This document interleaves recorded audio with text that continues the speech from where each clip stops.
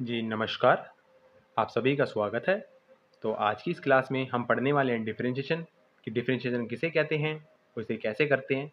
तो चलिए आज अपना हम टॉपिक शुरू करते हैं। तो डिफरेंशिएशन को पढ़ने से पहले, सबसे पहले हम देखते हैं कि डिपेंडेंट वेरिएबल और इंडिपेंडेंट वेरिएबल हम किसे कहते हैं। तो से हमारे पास एक इक्वेशन है, y equals to x square plus x plus one so हमने क्या करा, सबसे पहले x को रखा वन तो हमारे y की वैल्यू आती है थ्री जब हमने x की वैल्यू रखी टू तो y की वैल्यू आती है सेवन और जब हमने x की वैल्यू रखी थ्री तो y की वैल्यू आती है थर्टीन सो हम इसके अंदर देख सकते हैं जैसे जैसे हम x की वैल्यू चेंज कर रहे हैं वैसे वैसे हमारे y की वैल्यू भी चेंज हो रही है. इसका मतलब क्या है कि x की वैल्यू के ही ऊपर y की वैल्यू डिपेंड करती है. सो so, एक तरीके से हम कह सकते हैं कि x हमारा है इंडिपेंडेंट वेरिएबल और y हमारा है डिपेंडेंट डिपेंडेंट मीन्स कि जो y है वो x के ऊपर डिपेंड करता है। ठीक? अब मान लीजिए आपसे पूछा जाए कि y x के अकॉर्डिंग कितना चेंज हो रहा है। मतलब अगर मैं x को चेंज करता हूँ तो y में कितना चेंज आ रहा है। इसी चीज़ को फाइंड करने के लिए हमारे पास एक काफ़ी सुंदर टेक्निक है जिसको हम कहते हैं डिफ्रेंशिएशन डिफ्रेंशिएशन कैलकुलस का पार्ट है। कैलकुलस के दो पार्ट हैं।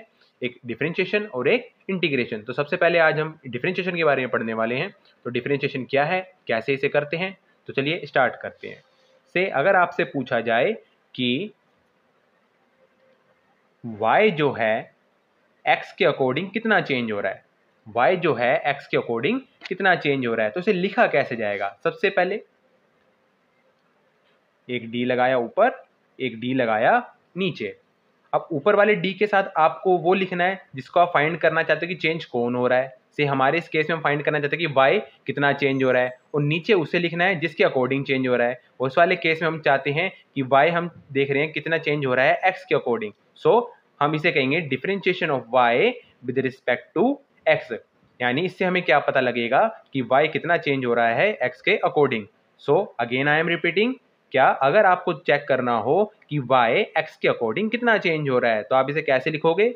ऊपर d नीचे d ऊपर उसे लिखना है जिसका आपको चेक करना है नीचे उसे लिखना है जिसके अकॉर्डिंग आपको चेक करना है। यानी अगर हमें चेक करना है कि y कितना चेंज हो रहा है x के अकॉर्डिंग सो so, हम क्या लिखेंगे? ऊपर y और नीचे x अब इसे रीड कैसे करेंगे? इसको रीड करेंगे differentiation of y with respect to x differentiation of y with respect to x तो इसको किस तरीके से बोला जाएगा? Differentiation of y with respect to x इसका मतलब है कि y कितना चेंज हो रहा है x के अकॉर्डिंग तो इसको करने के बहुत सारे तरीके हैं। तो सबसे पहले हम कॉमन मिस्टेक्स देख लेते हैं जो बच्चे करते हैं। तो अगर कहीं पर भी अगर ऐसा लिखा हो d y by d x इसका मतलब सेम वही है कि हम निकालना चाहते हैं कि वाई कितना चेंज हो रहा है एक्स के अकॉर्डिंग पर कुछ बच्चे क्या करेंगे, इस डी से डी को काट दिया। ऐसा नहीं करना है, ये बिल्कुल गलत है। ये सिर्फ़ लिखने का प्रोसीजर है क्या? कि आपको ऊपर लिखा डी नीचे लिखा आपने डी ऊपर उसको लिखना है जिसको आपको चेक करना है कि कितना चेंज हो रहा है और नीचे हमें वो लिखना है किसके अकॉर्डिंग चेंज हो रहा है। अगर मान लीजिए मुझे कुछ भी चीज़ चेक करनी हो कि एक्स के अकॉर्डिंग कितना चेंज हो रही है तो कैसे लिखूँगा? ऊपर डी नीचे एक्स तो ऊपर जो ये ब्रैकेट बना हुआ है, इसके अंदर उस चीज़ को लिखना है जिसका आपको डिफ्रेंशिएशन करना है किसकी रिस्पेक्ट में? एक्स की रिस्पेक्ट में। किसके रिस्पेक्ट में? एक्स के रिस्पेक्ट में। जैसे अगर मान लीजिए मुझे कोई चीज़ है मेरे पास जेड और मैं फाइंड करना चाहता हूँ कि जेड कितना चेंज हो रहा है एक्स के अकॉर्डिंग यानी मुझे क्या करना पड़ेगा इसका? डिफ्रेंशिएशन करना पड़ेगा। विद रिस्पेक्ट टू एक्स तो कैसे लिखा जाएगा इसको? सबसे पहले ऊपर लिखा डी नीचे लिखा किसके रिस्पेक्ट में करना है? एक्स के रिस्पेक्ट में तो नीचे लिखा डी एक्स ऊपर ब्रैकेट में लिखना है जेड क्योंकि हम क्या फाइंड करना चाहते हैं? कि जेड कितना चेंज हो रहा है एक्स के अकॉर्डिंग सो so, ये तो था हमारा बेसिक सा इंट्रोडक्शन कि डिफ्रेंशिएशन हमें क्या बताता है। तो अगेन हम थोड़ा सा रिवाइज करते हैं कि डिफ्रेंशिएशन हमें यही बताता है कि एक चीज़ दूसरी चीज़ के अकॉर्डिंग कितना चेंज हो रही है। तो इसके कुछ रूल्स हैं। बेसिक फॉर्मूलाज हैं। हालाँकि हमें इनकी डेरिवेशन की फ़िलहाल ज़रूरत नहीं है तो हम डायरेक्ट फॉर्मूलाज पर ही आते हैं। तो सबसे पहला जो हमारा रूल है, इसे हम कहते हैं पावर रूल हमारे पास यहाँ पे लिखा हुआ है एक्स की पावर एन जिसका हम डिफ्रेंशिएशन कर रहे हैं एक्स की पावर एन का विद रिस्पेक्ट टू एक्स और ध्यान दीजिएगा, जो ये एक्स की पावर एन है, यहाँ पे एन क्या है? एक रियल नंबर है. एन क्या है? हमारा रियल नंबर है. तो जब भी आप किसी एक्स की पावर एन का डिफ्रेंशिएशन करोगे तो उसका डिफ्रेंशिएशन क्या होगा? N multiply x raise to power n minus one n multiply x raise to power n minus one so इसका हम एग्ज़ाम्पल करके देखते हैं पावर रूल का।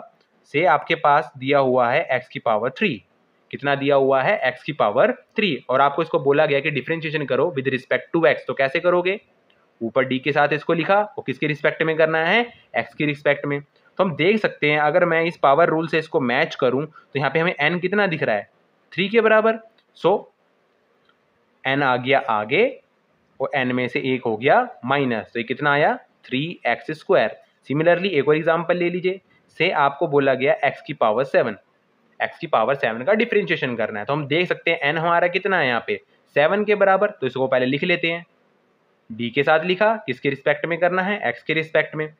तो हम जानते हैं पावर आगे आ जाएगी और एक पावर माइनस पावर कितनी है हमारी यहाँ पे? सेवन और एक्स की जो पावर है सेवन उनमें से एक हमने माइनस भी कर दिया। तो कितना आ गया? Seven x sorry seven x की पावर सिक्स अगेन एक और एग्ज़ाम्पल ले लो से एक्स क्यूब इसका भी डिफ्रेंशिएशन करना है। अब इसका डिफ्रेंशिएशन करना है तो हमें साफ़ साफ़ दिख रहा है एक्स की पावर जो एन है, वो एन कितना दिख रहा है हमें?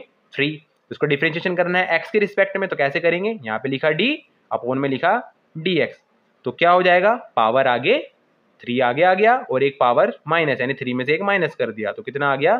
थ्री एक्स स्क्वायर तो ये था हमारा बेसिक सा पावर रूल सो so, जो हमारा नेक्स्ट टॉपिक है वो है हमारा constant multiple rule constant multiple rule जैसे कि हम देख सकते हैं कि एक्स की पावर एन तो है ये हमारा भाई पहले वाला एक्स की पावर एन है. बट इसके अंदर इसके साथ हमने क्या करा? एक सी से इसको मल्टीप्लाई कर दिया. सी हमारा यहाँ पे क्या है? एक रियल कॉन्स्टेंट है.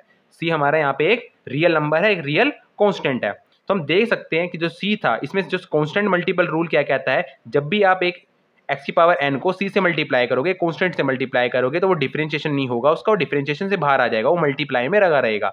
तो इस रूल के अकॉर्डिंग सी तो आ गया बाहर, अब अंदर क्या रह गया? एक्स की पावर एन जिसका हमें डिफ्रेंशिएशन करना है, और इसका डिफ्रेंशिएशन हम पहले ही कर चुके हैं। जिसका पावर जिस एक्स की पावर एन का डिफ्रेंशिएशन क्या था? एन एक्स की एक्स की पावर एन माइनस वन तो मैंने क्या करा, जो ये एक्स की पावर एन है, इसका डिफ्रेंशिएशन ऊपर से हमने डायरेक्ट उठाकर यहाँ पर डाल दिया, जो कि ये लिखा हुआ है। तो इसका भी हम एक क्वेश्चन करके देख सकते हैं। जैसे seven x square, seven x square, इसका भी डिफ्रेंशिएशन हमें करना है विद रिस्पेक्ट टू एक्स। तो इस तरीके से इसको लिखा जाएगा। हम देख सकते हैं यहाँ पे जो सेवन है, एक कॉन्स्टेंट है, इसके साथ मल्टीप्लाई में है। तो सेवन तो ले लिया हमने बाहर। अंदर क्या रह जाएगा डिफ्रेंशिएशन में? एक्स का स्क्वायर डी एक्स और एक्स का स्क्वायर हम देख सकते हैं, ये वापिस वैसा का वैसा बन गया। एक्स की पावर एन की तरह। और यहाँ पे हम देख सकते हैं, एन जो है हमारा कितना? टू है। सो so, हम क्या करेंगे? सेवन लिखा रहेगा सिंपली और टू आ गया आगे और एक पावर होगी कम। तो कितना आया? टू एक्स की पावर वन और seven into seven into two कितना हो जाएगा? फोर्टीन एक्स एक और क्वेश्चन ले लीजिए आप। से आपको दिया हुआ है ये। Three x cube three x cube इसका डिफ्रेंशिएशन आपको करना है। सो so, पहले लिखने का वही तरीका। जिसको डिफ्रेंशिएशन करना है वो ऊपर, जिसके रिस्पेक्ट में करना है वो नीचे। और हम देख सकते हैं यहाँ पे थ्री क्या है? कॉन्स्टेंट है। थ्री तो आ गया बाहर। अब अंदर क्या रह जाएगा? एक्स क्यूब और ये एक्स क्यूब हमें फिर वैसे ही दिख रहा है। एक्स की पावर एन और यहाँ पे एन कितना हो गया हमारा? थ्री के बराबर। तो क्या हो जाएगा? थ्री तो आया आगे। और थ्री में से एक हो गया माइनस तो कितना आया? Three into three x square और थ्री इंटू थ्री कितना हो जाएगा? Nine x square. सो अब हम देखते हैं कि अगर मान लीजिए आपको एक कांस्टेंट दिया हुआ है तो कांस्टेंट का मतलब क्या है? जिसकी वैल्यू चेंज नहीं हो रही किसी भी चीज़ के लिए, किसी सिचुएशन में भी। जैसे हमें बोला गया कि सी हमारा एक कांस्टेंट है और हम इसका डिफ्रेंशिएशन कर रहे हैं एक्स के लिए तो ध्यान दीजिएगा, जब भी आप एक कांस्टेंट का डिफ्रेंशिएशन करोगे तो वो हमेशा क्या आएगा? ज़ीरो ही आने वाला है। देखो कांस्टेंट का डिफरेंशिएशन ज़ीरो क्यों आता है? तो कांस्टेंट का डिफरेंस ज़ीरो इसलिए आता है, मान लीजिए आप एक्स के रिस्पेक्ट में किसी कॉन्स्टेंट का डिफरेंशिएशन ले रहे हैं। तो इस बात का मतलब क्या है कि आप चेक कर रहे हैं कि एक्स के लिए जो हमारा कॉन्स्टेंट वैल्यू है, वो चेंज कितनी हो रही है। तो एक बात बताइए, अगर वो कॉन्स्टेंट है तो वो चेंज क्यों होगा? अगर वो चेंज ही नहीं हो रहा तो उसका फिर डिफरेंशिएशन कितना होना चाहिए? ज़ीरो होना चाहिए। और चाहे तो आप इसको मैथमेटिकली ऐसे भी प्रूव कर सकते हैं। जैसे यहाँ पे हमारा सी लिखा हुआ है, साथ में आप मल्टीप्लाई में ले लीजिए एक्स की पावर ज़ीरो बिकॉज़ एक्स की पावर ज़ीरो क्या होता है? वन और हम जानते हैं वन को हम किसी भी नंबर के साथ मल्टीप्लाई में ले सकते हैं। ठीक? तो अगेन क्या बन गया? है कॉन्स्टेंट मल्टीपल वाला केस बन गया। तो हमारा सी बाहर आ जाएगा और अंदर क्या रह जाएगा? एक्स की पावर ज़ीरो ठीक? यहाँ पे हमारा एन कितना हो गया? ज़ीरो सो सी बाहर रहा। पावर आगे आ गई और एक पावर हो गई माइनस अब आप देख सकते हैं, पूरे से ज़ीरो मल्टीप्लाई में तो इस पूरे की वैल्यू कितनी हो जाएगी? ज़ीरो हो जाएगी। तो ध्यान दीजिएगा, अगर किसी भी चीज़ का डिफ्रेंशिएशन कांस्टेंट आता है तो आप सीधा सीधा आपके माइंड में ये आना चाहिए, वो चीज़ क्या है? वो चीज़ कांस्टेंट है। अगर आप किसी भी चीज़ का डिफ्रेंशिएशन देखते हैं कि वो कांस्टेंट आता है तो इसका मतलब है वो चीज़ क्या है, एक कांस्टेंट है। तो हम आगे चलते हैं डिफ्रेंशिएशन के ही अंदर। मान लीजिए आपको कुछ ऐसा दिया हुआ है। X square plus two x plus one ये आपको दिया हुआ है। अब इसके अंदर तो आप देख सकते हैं कई सारी टर्म्स हैं तो इसको कैसे डिफ्रेंशिएशन करेंगे? बड़ा ही सिंपल है। सबसे पहले आप तो इसको डिफ्रेंशिएशन की तरह पहले लिखिए कि हमें इसका डिफ्रेंशिएशन करना है एक्स के लिए तो एक्स आया नीचे। उसके बाद में हमें क्या करना है? सबको अलग अलग लिख देना है। इस तरीके से।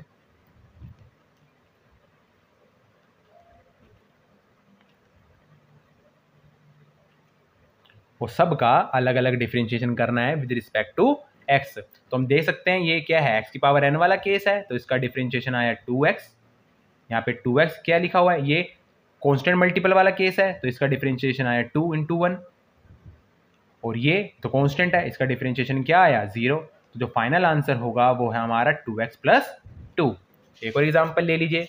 से हमको दिया हुआ है x cube plus three x plus one इसका डिफ्रेंशिएशन करना है। तो सबसे पहले डिफ्रेंशिएशन इस तरीके से लिखा जाएगा।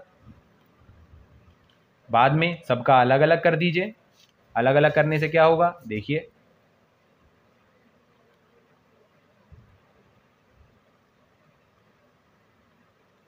plus d one by d x अब इन सब का आपको डिफ्रेंशिएशन करना है अलग अलग करना है। तो अलग अलग जब इनका डिफ्रेंशिएशन होगा तो क्या आएगा? एक्स क्यूब का डिफ्रेंशिएशन कितना आया? Three x square three x का डिफ्रेंशिएशन कितना आया? थ्री और वन तो एक कॉन्स्टेंट है। तो वन का जो यहाँ पे था कॉन्स्टेंट था, उसका डिफ्रेंशिएशन कितना आया? ज़ीरो तो ये जो आया है, ये हमारा है फाइनल आंसर हम्म। मान लीजिए अब आपको ट्रिग्नोमेट्रिक कोई चीज़ दी हुई है, उसके डिफ्रेंशिएशन करना है। तो यहाँ पे कुछ बेसिक से फॉर्मूला है, जो कि आपको सिर्फ़ यही रिक्वायरमेंट होगी फिजिक्स के अंदर। तो कुछ वो बेसिक फॉर्मूलाज हैं लाइक दिस अगर से आपको दिया हुआ है साइन एक्स डिफ्रेंशिएशन आप कर रहे हो विद रिस्पेक्ट टू एक्स तो साइन एक्स का डिफ्रेंशिएशन होता है कोस एक्स वैसे ही, अगर आपके पास कोस एक्स है, इसका डिफ्रेंशिएशन करना है आपको विद रिस्पेक्ट टू एक्स तो इसका डिफ्रेंशिएशन होता है माइनस साइन एक्स अगर आपको टेन एक्स का डिफ्रेंशिएशन करना है तो इसका जो डिफ्रेंशिएशन होकर आएगा वो है सैक स्क्वायर एक्स तो ये हमारे बेसिक ट्रिग्नोमेट्रिक फॉर्मूलाज थे, जो कि हमको फिजिक्स के अंदर इस्तेमाल होंगे। अगर आपको फर्दर कोई फॉर्मूला चाहिए तो आप हमें बता सकते हैं। तो एक चीज़ और अगर हम डिफ्रेंशिएशन पढ़ ही रहे हैं तो मे भी आपको डिफ्रेंशिएशन क्या पता इस तरीके से भी आ सकता है। जैसे यहाँ पे लिखा हो सकता है एक्स की power four plus two x upon x cube ये हम मान लीजिए हमको दिया हुआ है तो इसका डिफ्रेंशिएशन कैसे करेंगे? बड़ा ही सिंपल है। आप सबसे पहले क्या करिए? इसको ब्रेक कर लीजिए। इसके फ्रैक्शन को ब्रेक कर लीजिए। ब्रेक किस तरीके से करेंगे? कुछ इस तरीके से। एक्स की पावर फोर अपॉन में x cube plus two x upon में एक्स क्यूब ठीक? तो अब क्या करेंगे? अब आप देख सकते हैं, ये ऊपर जाएगा पावर माइनस हो जाएगी। तो एक्स की power four minus three plus में ये भी ऊपर जाएगा पावर माइनस हो जाएगी टू एक्स उसकी पावर वन है तो वन में से माइनस हो जाएगा थ्री तो अपने पास क्या आ गया? एक्स की पावर वन प्लस में टू एक्स की पावर माइनस टू अब इसका डिफ्रेंशिएशन करना है। अगर अब हम जब इसे डिफ्रेंशिएशन करना है तो किस तरीके से लिखेंगे? इधर डी लगाया, इधर ब्रैकेट बंद और अपॉन में डी एक्स और हम दे सकते हैं, अब ये जो हमारी टर्म्स हैं, कितनी है? दो टर्म्स हैं, एक एक्स की पावर वन और एक टू एक्स की पावर माइनस टू तो इसको अलग अलग करके लिख देंगे। यहाँ पे लिखा पहले डी एक्स के लिए, जिसकी पावर कितनी है? वन है। और यहाँ पर दूसरा इसके लिए टू एक्स की पावर माइनस टू के लिए। अब इसका डिफ्रेंशिएशन करते हैं पावर इसकी वन है तो हम देख सकते हैं पावर आ जाएगी आगे, और एक पावर माइनस प्लस टू है कॉन्स्टेंट मल्टीपल वाला केस है टू तो आ गया बाहर, अंदर क्या रह जाएगा? एक्स की पावर माइनस टू अपॉन में डी एक्स फिर इसकी पावर तो होगी ज़ीरो यानी एक्स की पावर ज़ीरो यहाँ पे टू और अंदर आ जाएगा पावर आगे, और एक पावर माइनस में पावर आगे, और टू में से भी एक पावर माइनस में। तो क्या आया हमारा? एक्स की पावर ज़ीरो तो क्या हो जाएगा? वन प्लस में टू और यहाँ पे क्या आया? माइनस टू और इधर क्या हो जाएगा? एक्स की पावर माइनस थ्री तो वन इंटू वन तो वन ही आ जाएगा, और टू इंटू माइनस टू कितना आ जाएगा? तो दोबारा लिख लेते हैं वन इंटू वन वन और two into minus two minus four और ये अपना एक्स की पावर माइनस थ्री है, हम चाहें तो उसको नीचे ले जाएँगे तो ये पावर हो जाएगी प्लस थ्री ठीक? तो ये आ गया हमारा फाइनल आंसर